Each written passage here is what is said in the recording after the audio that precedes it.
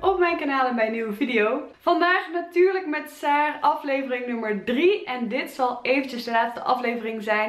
En dat heeft alles te maken met dat er een grote verandering op mijn kanaal gaat plaatsvinden. Hierover volgende week meer. Volgende week maandag komt daar een video online, over online op mijn kanaal.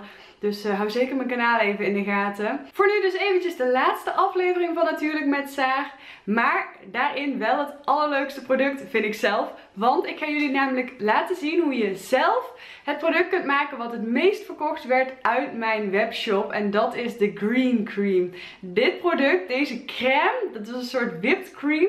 Die ging zo hard, echt iedere bestelling die ik had, daar zat hij wel bij. Mensen waren daar lovend over. Hij was echt super fijn. Hij, hij rook heerlijk. Ja, ik heb er echt heel veel positieve uh, feedback over ontvangen. En nu ga ik jullie dus laten zien hoe je die zelf maakt. Maar dat niet alleen, ik ga jullie ook laten zien hoe je zelf een massagebar kunt maken. Dus laten we maar snel gaan beginnen. En we gaan beginnen met de massagebar als allereerst. Nou, wat heb je hiervoor nodig? Je hebt als allereerst nodig uh, eh, 45 gram cacaoboter. Dan heb je nog nodig 15 gram shea boter. Gevolgd door uh, eh, 10 gram jojoba olie of een andere olie naar keus. Um, ik voeg er ook nog wat amandelolie aan toe, 5 gram. En uh, nog 5 gram kokosolie. En dan uh, maak ik hem af met uh, etherische olie. Ik gebruik uh, deze olie. Dit is een geurolie, dus dit is meer een soort parfumolie, geen etherische olie. Maar deze olie zorgt er wel voor dat de geur langer dus blijft hangen op je huid. En met name bij een bodybar vind ik, of bij een massagebar vind ik dat heel erg fijn. Dit is de geur Egyptische roos en die ruikt echt zo enorm lekker. Echt naar een hele zoetige, uh, warme roze geur. Dus die ga ik erin toevoegen. Dan heb je natuurlijk een Albert Marie pannetje nodig, want we gaan het weer smelten. En alles gaan we aan het eind in een malletje doen. En ik vond deze rozemal wel leuk erbij. Matcht mooi bij de geur, dus dat gaan we doen. En dan pak ik even een weegschaaltje erbij. Want we gaan natuurlijk weer alles afwegen. We zetten hem aan en dan pakt hij dus gewoon uh, niet uh, het gewicht van, van het schaaltje. Dan gaan we als allereerst de cacaoboter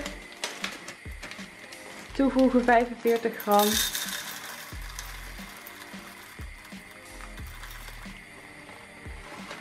Dan 15 gram shea boter.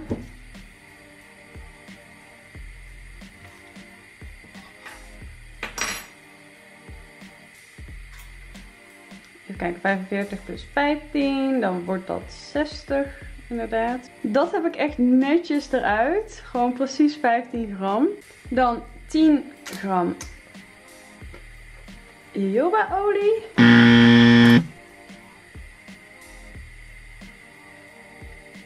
Die hoefde ik er eigenlijk niet toe te voegen. Shit.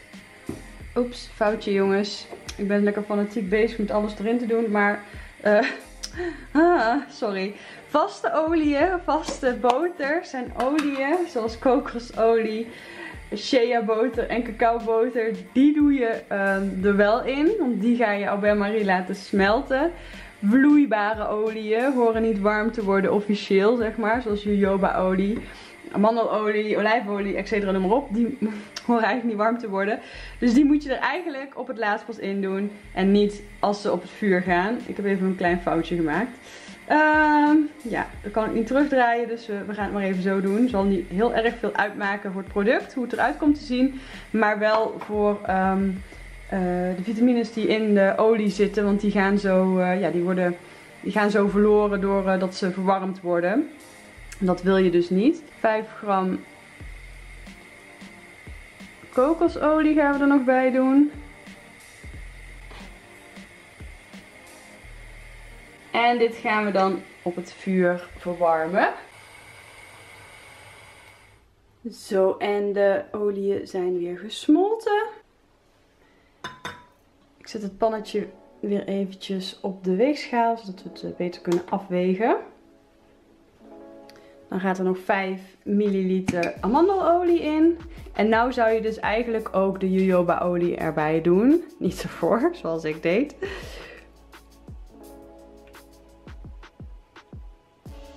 Met olie moet je altijd heel erg oppassen, want je doet al snel te veel erin. En dan gaan we ook de geurolie erbij doen. Dit roeren we nog even goed door. En mijn huis ruikt nou heerlijk naar rozen. Ah, die geur. Ik wou echt dat jullie dit konden ruiken. Dit is zo lekker.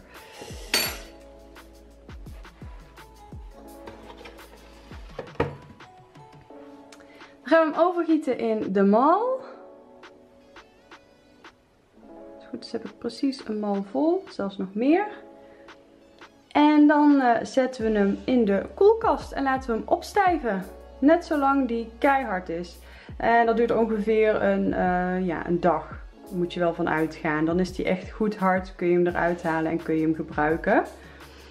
Let wel op, het is natuurlijk een bodybar. Dus uh, ja, hetzelfde als bij Lush. Ga hem niet op een warme, um, ergens warms of ergens in de zon neerleggen. Want dan zal die gegarandeerd smelten. Uh, hij smelt, in principe blijft hij gewoon vast als je hem op een koele droge plaats bewaart. Um, en als je hem gebruikt over je lichaam heen, dan wordt hij warm.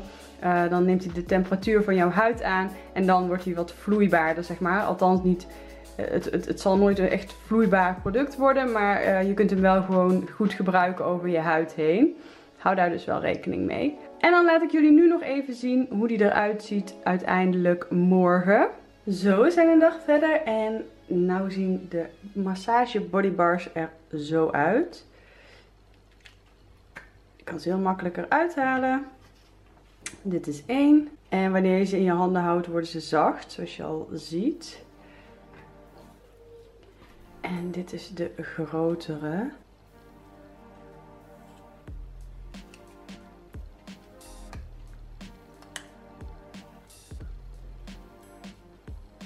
Heel gaaf. En wanneer je deze dan bijvoorbeeld zo over je arm wrijft, dan wordt die heerlijk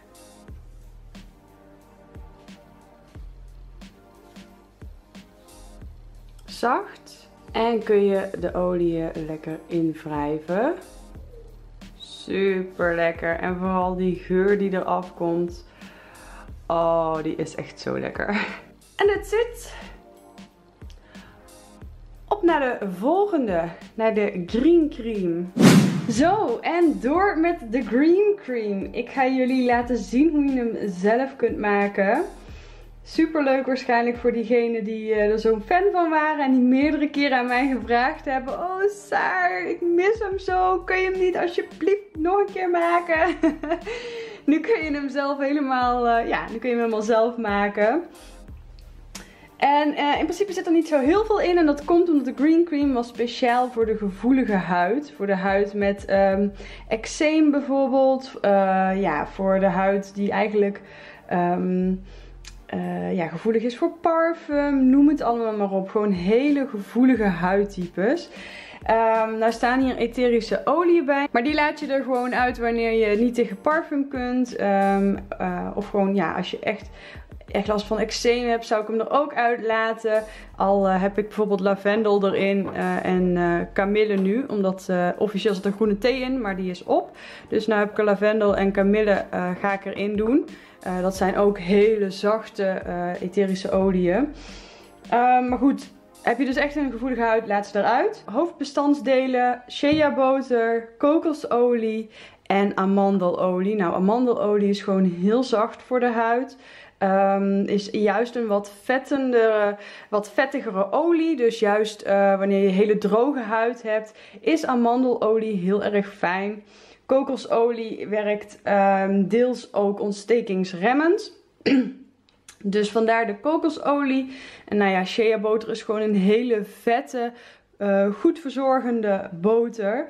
Uh, wat je huid juist wel kan gebruiken wanneer jij uh, een hele gevoelige huid hebt. Dus dit is echt voor de droge en gevoelige slash extreem gevoelige huid. Ik neem je weer mee in het proces hoe we hem maken.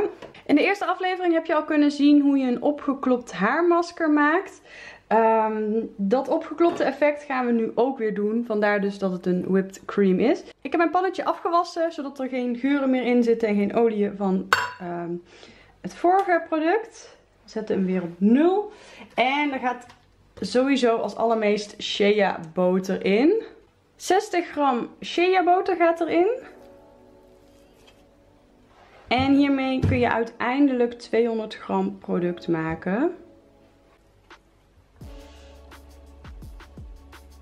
Dan 30 gram kokosolie. Ik hoop dat ik dat nog heb, want er zit niet zo heel veel meer in.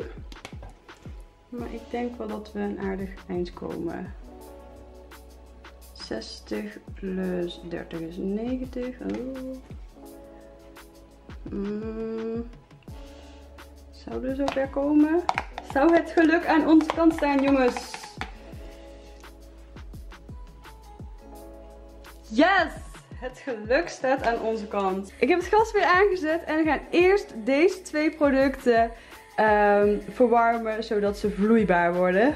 Kijk eens even. Hij is weer lekker vloeibaar. En nu gaan we hem over transporteren in een kom. De vloeibare bestandsdelen zitten nu in de kom. Zodat de kom in de vriezer kan. Voor ongeveer een half uurtje. En dan halen we hem daarna er weer uit. En kunnen we de rest erin gaan doen en hem gaan opkloppen. Zo, 10 minuten, ah, een kwartiertje in de vriezer. En hij ziet er zo uit. Hij is al wat dikker geworden. Je wil hem niet super dik hebben. Je wil hem nog wel een beetje vloeibaar hebben. Dus uh, we gaan nu de rest van de ingrediënten erbij doen. En dan gaan we hem opkloppen. 20 gram amandelolie ging er nog bij.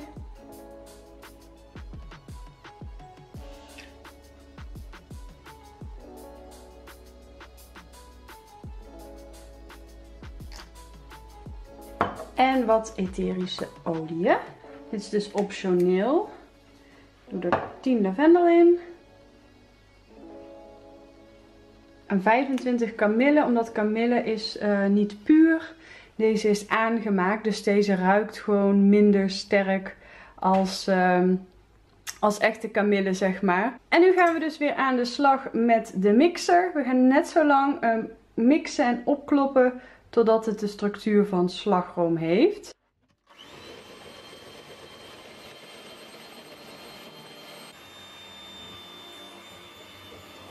Goed, hij is klaar.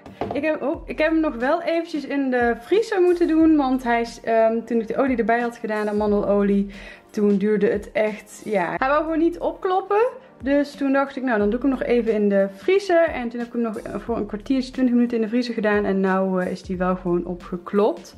Uh, dus ik raad je aan om of de amandelolie pas toe te voegen als hij is uh, opgeklopt. Zo, dat, dat hij zo is en dan de amandelolie toevoegen. Beetje bij beetje en dan opkloppen. Of gewoon langer in de vriezer houden en daarna opkloppen. Goed, nu kan hij in een bakje. Ik had deze bakjes nog um, van mijn webshop. Heel handig. Want daar kun je dus ook een plasticje overheen doen. Zodat het gewoon schoon blijft. En vervolgens pakken we een spatel erbij. En gaan we het erin uh, spatelen.